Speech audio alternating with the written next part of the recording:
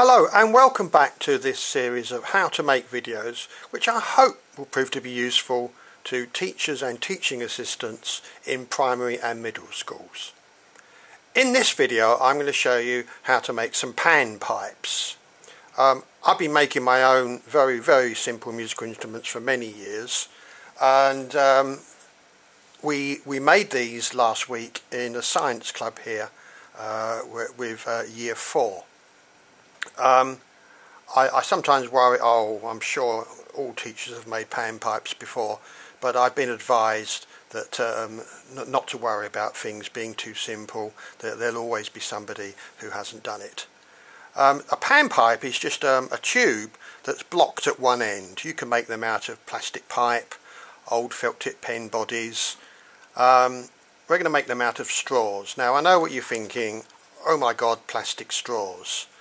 Uh, I'm in total agreement that we should stop using plastic straws uh, due to pollution. Um, I, I do, I have used them a lot, as you probably know if you've watched these videos.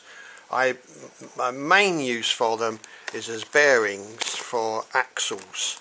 So I run a, a, a wooden dowel through them. Um, and once, once I've actually sold the remaining stocks of my plastic straws, yes I'm afraid I sell them as well, um, I will start using uh, paper straws which I'm, I'm sure will work um, just as well. Um, I have tried making pan pipes with paper straws. It does work. Um, but I, have got to admit it works better with plastic straws and also after a while the ends if they're used a lot will start to get soggy and quite frankly rather disgusting. So uh, I know it's controversial but I'm going to carry on and I'm going to use some plastic straws. At, at least we're not using them once. Um, I, these pan pipes uh, are at least 10 years old and they're still working. So that's my justification. Um, for a pan pipe, that, the whole straw doesn't work very well. Um, you need to cut it down to about two thirds. And always remember which is the uncut end because that's a nice accurately um, flat end. So that's the end that you're going to blow across. And block the other end with your finger. It must be completely airtight. So push quite hard because the column of air as it enters when you blow in must travel down the tube, bounce off your finger, uh, move back up again. When it reaches the top, it reaches more air that's constantly being blown in, bounces back up and down, and it vibrates up and down. We call it resonating. It's a resonating air column, and it actually vibrates or resonates hundreds of times a second.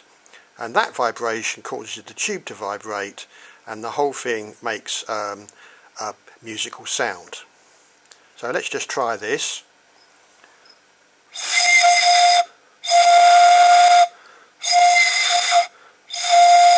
Now, in the science club, the pupils did have some difficulty in actually getting a sound out of their panpipes. It's not as simple as it looks. Um, they were just putting the whole thing in their mouth and blowing. Um, you have to put the top on your bottom lip. So imagine this is the side of my mouth. You put it on your bottom lip, bring your lips together and blow across, not down, across, at a slight angle.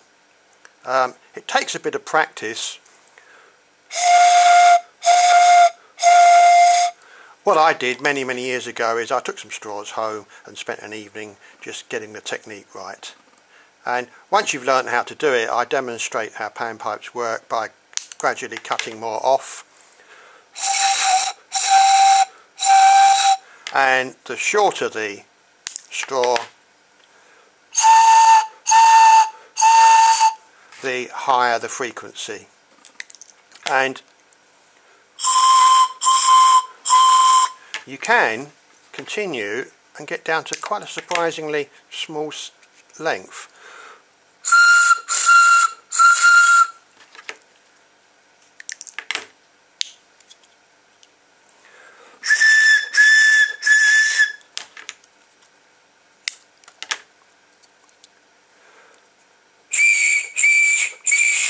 When you get to these small pieces you do have to blow a little bit harder. So all I'm doing is putting my finger on the ends to seal it and then blowing across the top. I think we can do one more where it just becomes too difficult to actually hold. So that's the principle of the pan pipes, making high and low frequency sounds. Um, but if you had um, a whole set of them, it's obviously going to be uh, too difficult to block all the ends with your fingers, so we need to block them up. Now, this one here, I, I've used sellotape, and incredibly, as I said, it must be 10 years old. It's still airtight. I'm astonished by that. And it still works.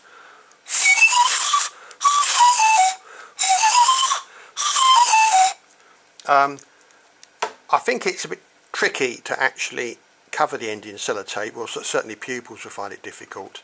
So the way I'm currently blocking them up is to use uh, Blu Tack. Now um, I'm not too worried about getting a musical scale but I find that if you start off with a piece 22 centimeters long and then go down and then get shorter in one centimeter steps it produces a, a reasonable scale so you get a piece of Blu Tack roll it between your fingers into sort of an egg shape. Try and encourage the pupils not to use a ridiculously large piece. And then push it up I hope you're seeing this into the tube fairly firmly because that's got to be airtight. And check it's airtight by blowing into it. And then use your other hand to feel any air that's escaping. And of course you can soon test it by actually see if you can get a note out of it.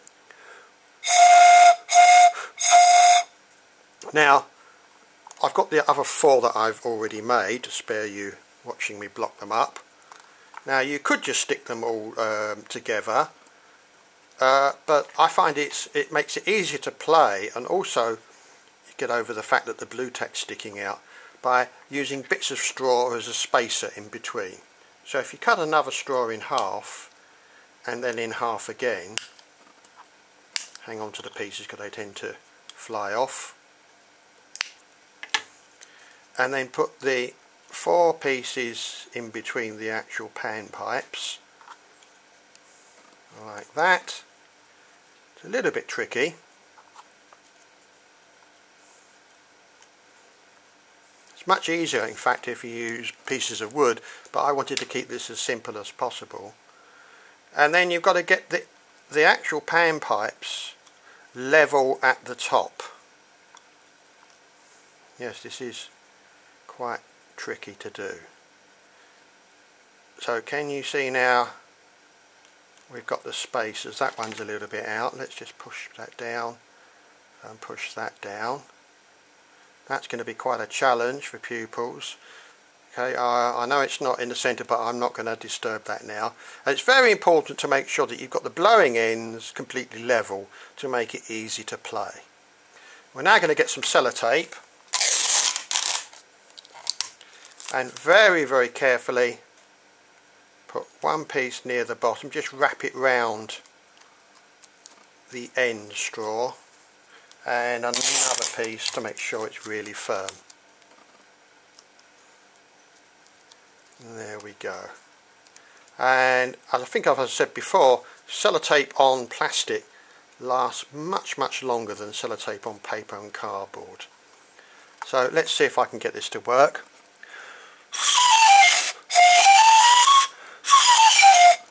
Now um, this this problem with learning how to blow um, I want to try and show you this. Um, I don't know if this is going to work. I've only got a very simple camera here. I'm just going to move it up to the mirror. Warning, you may actually see my face if this works. So I'm just going to block the end with my thumb here. And I don't know if you can see, you put the end of the tube on your bottom lip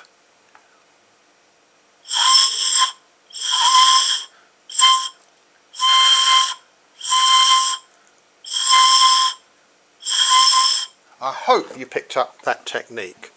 So I hope you enjoy making your set of uh, pan pipes. Thanks for watching.